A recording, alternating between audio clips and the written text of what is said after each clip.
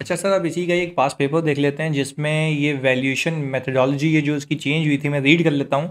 Mohani manufacturing limited is engage in manufacturing of spare parts for motor car assemblers the audited financial statements for the year ended December इकतीस, दो हज़ार चौदह disclose in the financial statements and the profit and retain earning were rupees इक्कीस million and eighty nine million यानी वो क्या ही रहा है, कि भाई जो आप 2014 की बात कर जो डिस्क्लोज है, उसके अंदर प्रॉफिट उसका था 21 मिलियन का रिटेन अर्निंग थी 89 मिलियन की respectively draft financial statements for the year ended show the profit of rupees fifteen million यानी बोल ये रहा है कि भाई जो draft F S current year के, वो शो कर रहे हैं प्रॉफिट पंद्रह मिलियन का however following adjustments are required to be made सुनिएगा क्या कह रहा है? वो कह ये रहा है the management of the company has decided to change the method for valuation of raw material from FIFO to weighted average यानी सर, ये तो हमारी कहानी पे बैठ गया कि फीफो से किस पे जा रहा है? वेटेड एवरेज पे जा रहा है। आगे सुनिएगा। क्या ये रहता है? Value of inventory under each method is as follows बोल रहा अगर आप 31 दिसंबर 2013 की बात करेंगे ना 13 की 2013 की तो उसमें फीफो पे सैंतीस पे था, अगर वेटेड एवरेज पे चले जाते तो 35.5 पे आ जाता। तो आपको पता नहीं ये इंक्रीज इन इन्वेंट्री हो रहा है। इंक्रीज इन इन्वेंट्री आगे देखते हैं। फिर सर 2014 का इम्पैक्ट बता रहा है, पंद्रह का इम्पैक्ट बता रहा है। अब क्या ही रहा है, in 2014 company purchase a plant for rupees hundred million depreciation of plant was recorded at rupees पच्चीस million instead of rupees ten million this error was discovered after the publication of financial statement for the year ended इकतीस December 2014 the error is considered to be material यानी वो क्या ही रहा है कि भाई 2014 भी गुजर चुका है सही जी 2014 में ये प्लांट परचेज किया गया था उसके ऊपर जो डेप्रिसिएशन चार्ज हुई थी, वो यही थी सर 25 मिलियन की इंस्टेड ऑफ़ 10 मिलियन यानी मैं अगर ये कहूँ आपको कि उसमें उसकी लाइफ चार साल कंसिडर की है, जबकि दस साल है।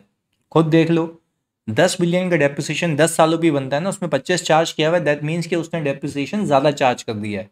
बात क्लियर है? अच्छा जी तो सर अब हम यहाँ पे बनाते हैं, वो बोल ये रहा है प्रोड्यूस करें extracts showing the movement in retain earning as would appear in the statement of changes in equity यानी सर, वो क्या ही रहा है? कि आप मुझे बना के दें? Statement of changes in equity for the year ended December इकतीस, दो हज़ार पंद्रह। Sir you need to make sure you need to make sure कि आपको ये पता होना चाहिए कि इसमें कंपेरेटिव नहीं मांगा।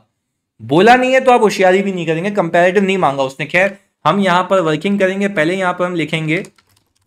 Balance as at January one 2015 क्योंकि इकतीस दिसंबर है ना ईयर एंड तो जनवरी वन 2015 सर क्या मैं कह सकता हूँ, जनवरी वन 2015 का जो रिटेन अर्निंग वो 2014 का क्लोजिंग होगा। सर देखो, यहाँ पर इसने बताया हुआ है कि रिटेन अर्निंग 2014 का कितना है भाई? रिटेन अर्निंग 2014 का आ रहा है। देखो प्रॉफिट भी दिया हुआ है रिटेन भी दिया हुआ है 89 मिलियन है। सही है जी?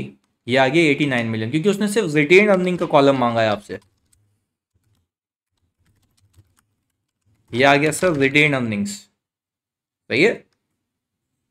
अच्छा भाई सर मैंने कहा यहाँ पर आपकी एक एरर एडजस्टमेंट आएगी और चेंज इन अकाउंटिंग पॉलिसी दो इम्पैक्ट्स आएँगे ना, दोनों को आपने अलग अलग बताना है। खैर सर सबसे पहले सबसे पहले मैं यहाँ पर चेंज इन अकाउंटिंग पॉलिसी की वर्किंग कर लेता हूँ। आपने बखूबी देखनी है, सोच समझ के यहाँ पे करना है काम है तो देखिएगा। क्या मैं कह सकता हूँ सर कि यहाँ पर अगर मैं 2013 की बात करूँ 2014 की बात करूँ और 2015 यही डेटा गिवन है ना मुझे? यही डेटा गिवन है। अगर मैं आपसे ये बात कहूँ कि भाई मेरे पास ओपनिंग इम्पैक्ट और क्लोजिंग इम्पैक्ट अब आप लोगों ने सोच के बताना है, मुझे इधर देखिएगा। सवाल में आया मैं, मैंने कहा 2013 की बात करो।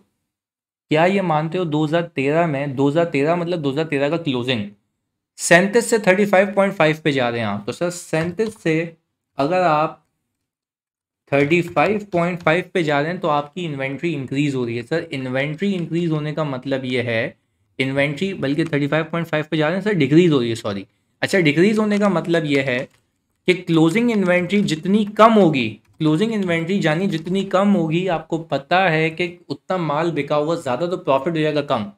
यानी क्लोजिंग इन्वेंट्री कम तो प्रॉफिट कम, क्या मैं कह सकता हूँ 1.5 मिलियन से मेरा क्लोजिंग इन्वेंट्री अगर रिड्यूस हो गई है तो मेरा जो प्रॉफिट है, वो भी क्या हुआ होगा जानी रिड्यूस हो गया होगा, क्योंकि सीओ जी एस ज़्यादा हो गई होगी। देखो भाई क्लोजिंग इन्वेंट्री यानी जो बच गई, वो कम हो गई तो कॉस्ट ऑफ़ गुड सोल्ड ज़्यादा हो गया, ज़्यादा हो गया तो प्रॉफिट कम हो गया।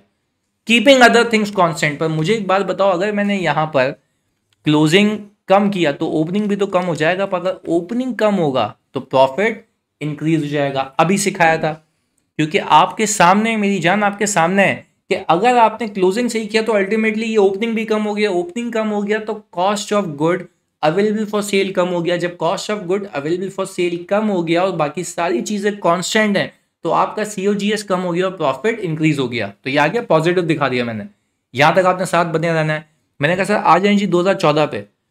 2014 पे आपकी इन्वेंट्री इंक्रीज हो रही है वेटेड एवरेज के हिसाब से। तो मैंने कहा कि, सर, अगर मेरी इन्वेंट्री इंक्रीज हो रही है तो क्लोजिंग इंक्रीज हो रहा क्लोजिंग इंक्रीज होने का मतलब है कि आपके पास बच ज़्यादा गया वैल्यूशन के हिसाब से। तो आपका बिका कम, यानी सीओजीएस कम हो गया। सीओजीएस कम हो गया तो प्रॉफिट ज़्यादा हो गया। तो क्या मैं कह सकता हूँ फोर्टी फोर पॉइंट फाइव पे मेरी इन्वेंट्री आ गई इंक्रीज होके from forty two point three sir, मैंने कहा कि अगर मैं फॉर द ईयर का इम्पैक्ट देखूँ तो फॉर द ईयर में यहाँ पर 2013 का, ये फॉर द ईयर है ना? तो यूँ कर लेते हैं, सर, ताकि बात समझ आ जाए। मैंने कहा कि, सर, अगर मेरे पास में ये बताऊँ कि ये आ गए for the year impact sir 2013 में प्रॉफिट कम हो गया 2014 का प्रॉफिट बढ़ गया 3.7 से। अच्छा जी, अब मैंने कहा 2015 की बात करें, सर, अगर आप मुझे बताएँ, आप मुझे बताएँ कि अगर क्लोजिंग इन्वेंट्री आपने इतने से बढ़ा दी प्रॉफिट बढ़ गया तो फिर आपकी ओपनिंग भी तो इंक्रीज होगी, पर जब ओपनिंग इंक्रीज होगी तो cost of good available for sale ज़्यादा होगा। जब cost of good available for sale due to opening के इंक्रीज से ज़्यादा होगा तो सीओजीएस भी ज़्यादा होगी तो प्रॉफिट कम हो जाएगा, इसलिए मैंने उसको नेगेटिव रखा है। अच्छा अब इस साल की इसने क्या बताया इम्पैक्ट 58.4 से 54.4 पे जा रहे हैं। सर 58.4 से 54.4 पे जा रहे हैं, यानी आप कम हो रहे हैं। अच्छा इन्वेंट्री के कम होने का, मैं अगेन एंड अगेन रिपीट कर रहा हूँ, इन्वेंट्री के कम होने का मतलब यह है कि क्लोजिंग में बची कम तो बिकी ज़्यादा बिकी ज़्यादा तो सी ओ जी ज़्यादा सी ओ जी ज़्यादा तो प्रॉफिट कम।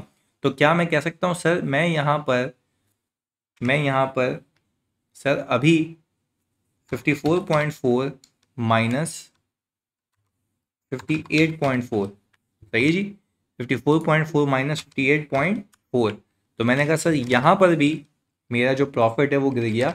तो फॉर द ईयर का इम्पैक्ट आ गया सिक्स पॉइंट टू पर। सर, अगर मैं अगर मैं ये साल की वर्किंग कर रहा हूँ तो ओपनिंग तक कितना इम्पैक्ट है? एज एड तो मैंने कहा, सर, ये और ये। 2.2 सर 2.2 कैसे? क्योंकि ये और ये तो कैंसिल आउट हो गया ना। यहाँ पर, यहाँ से उठा के ले आता हूँ, वो काटी जो मैंने लगाई थी। अभी सिखा देता हूँ आप लोगों को। यहाँ पे नहीं, बल्कि ऊपर थी वो। ये देखिए अच्छा भाई सर, मैंने कहा कि सर यहाँ पर ये इसने इसको कैंसिल आउट कर दिया if I am talking about aged एजेड में इसने इसको कैंसिल आउट कर दिया। तो यही बचा। तो क्या मैं कह सकता हूँ कि सर ये जो अभी मेरे पास है, ये अकाउंटिंग पॉलिसी के चेंज की वजह से इंक्रीज आ रहा है 2.2 का। 2.2 का। और सर अगर मैं एरर एडजस्टमेंट की बात करूँ एरर एडजस्टमेंट की तो 2014 में 100 मिलियन का प्लांट परचेज हुआ था। जिसमें डेप्रिसिएशन रिकॉर्ड हो गया था 25 मिलियन पे instead of 10 million instead of 10 million तो क्या मैं कह सकता हूँ कि भाई डेप्रिसिएशन ज़्यादा रिकॉर्ड हो गया था 15 मिलियन से। तो 15 मिलियन से मेरी रिटेन अर्निंग कम है। तो मैंने ये कहा कि सर मैं यहाँ पर 15 मिलियन एरर एडजस्टमेंट के नाम पे ऐड कर दूँगा। मैंने स्ट्रेट कर दिया क्योंकि आप इतने लॉजिकली साउंड हो चुके हैं। आपको पता है कि भाई डेप्रिसिएशन पंद्रह का ज़्यादा चार्ज हो चुका है। पच्चीस का चार्ज हुआ, होना चाहिए दस का। और ये एरर डिस्कवर हुआ है after publication of financial statements for the year ended इकतीस दिसंबर 2014 और एरर एक मटीरियल एरर है तो सर क्या मैं कह सकता हूँ कि भाई, मेरा डेप्रिसिएशन दस का होना चाहिए, हुआ पच्चीस का है तो पंद्रह से ज़्यादा हुआ हुआ है तो मेरा एक्सपेंस पंद्रह से ज़्यादा हुआ हुआ है तो रिटेन अर्निंग पंद्रह से कम हुई हुई है। मैं इसको इंक्रीज कर दूँगा। और टेक्निकली मेरा पीपी टेक्निकली मेरा पीपी अभी पिचहत्तर पे जबकि होना चाहिए कितने पे सर नब्बे पे तो मैं पंद्रह से इंक्रीज कर दूँगा। बात क्लियर है? तो सर मेरे पास यहाँ पर कुल मिलाकर एक एडजस्टेड रिटेन अर्निंग आ गई और मैंने कहा, सर, ये मेरे पास आ गया balance as at January one दो हज़ार पंद्रह रीस्टेटेड ठीक है, मैं कंपैरेटिव नहीं बना रहा। अच्छा खैर, आपने अब किया प्रॉफिट फॉर द ईयर 2015 अच्छा सवाल में जाके देखता हूँ मैं, सर, सवाल में मेरे पास प्रॉफिट फॉर द ईयर कह रहा है ड्राफ्ट फाइनेंशियल स्टेटमेंट शो कर रहे हैं प्रॉफिट पंद्रह मिलियन का। सही है जी, पंद्रह मिलियन का और तो कोई इन्फॉर्मेशन नहीं है नहीं है सर अच्छा मैंने कहा फिफ्टीन मिलियन गिवन है। अच्छा इसके अंदर देखें आपका फॉर द ईयर का जो प्रॉफिट है सिक्स पॉइंट टू का। फिर देखने यहाँ पे सिक्स पॉइंट टू का आपका प्रॉफिट क्या हो रहा है? सर कम हो रहा है। गिर कैसे था? सुन लें। एक तो ओपनिंग इन्वेंट्री ओपनिंग इन्वेंट्री आपकी बढ़ गई तो ओपनिंग इन्वेंट्री की इंक्रीज होने से cost of good available for sale ज़्यादा हो गया तो सी भी ज़्यादा हो गया तो प्रॉफिट कम हो गया। और मैंने कहा क्लोजिंग इन्वेंट्री आपकी कम हो गई तो क्लोजिंग इन्वेंट्री के कम होने से भी आपका प्रॉफिट क्या हो गया? सर, कम हो गया रीज़न क्योंकि बिका ज़्यादा है माल।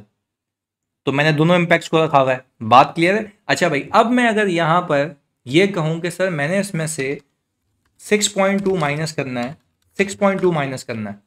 तो क्या ये बात आपको समझ आ रही है कि पंद्रह में से अगर मैं सिक्स पॉइंट टू माइनस करूँ तो मेरा इस साल भी जो वैल्यूएशन है, वो वेटेड एवरेज हो गई और मेरा प्रॉफिट भी अल्टीमेटली एडजस्ट हो गया है। मेरा प्रॉफिट भी अल्टीमेटली एडजस्ट हो गया है। अच्छा अब अजम्पन ये है। अब ये देखिएगा कि भाई अजम मैं अजम्पन ले रहा हूँ उसके अंदर कि भाई इस साल भी इसने डेप्रिसिएशन में भंड मारा हुआ है। पर अगर मैं आपको देखूँ कि इसने, देखो अपेरेंटली ये लग रहा है ना कि इसने सौ को पच्चीस किया हुआ तो यानी इसने डेप्रिसिएशन जो बुक किया हुआ है, चार सालों पर किया हुआ है। क्या मैं कह सकता हूँ इस साल भी ये भंड होगा?